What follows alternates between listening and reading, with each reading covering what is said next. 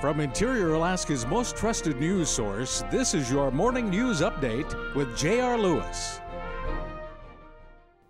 Good morning and thanks for joining us. It's Thursday, July 3rd, 2014. In the news, two Alaska election officials testifying in a native voting rights trial say they work hard to help native language speakers. Becca Baker, election supervisor for the Nome region, testified that election personnel do their best in recruiting bilingual outreach workers. The federal lawsuit filed by the Native American Rights Fund says the state has failed to provide complete translations of voting materials. The state contends its program meets the legal requirements. A high-definition camera is allowing researchers and any birdwatcher with an internet connection an unfettered view into the nesting den of an Arctic snowy owl. The camera went live this week and is trained on the nesting site where as many as six chicks are beginning to emerge from near Barrow.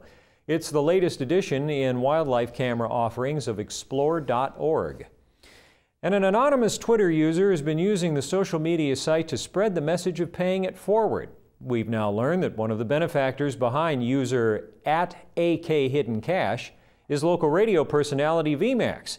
He said he saw the idea in another state and thought it would be a great way to see how folks around the city would pay it forward, so he took it to his manager Perry and they decided to try it out.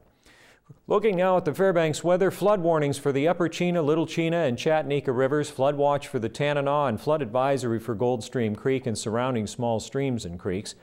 Forecast for today mostly cloudy, patchy fog in the morning, isolated thunderstorms in the afternoon, highs in the lower 70s. Tonight mostly cloudy, isolated thunderstorms in the evening, then partly cloudy after midnight, lows in the upper 40s to lower 50s. Independence Day, we at last get some sun and highs in the upper 70s. Extended forecast mostly sunny and low 80s for the holiday weekend, maybe some showers Sunday night, then mostly cloudy and mid 70s Monday through Wednesday. That's all we have for right now. I'm glad you could join us. The rest of the News Center team will be here tonight at 6, bringing you the Fairbanks Evening News on KTVF Channel 11. From all of us here at News Center 11, I'm J.R. Lewis. Thanks for watching. Don't forget about CPR and enjoy your day.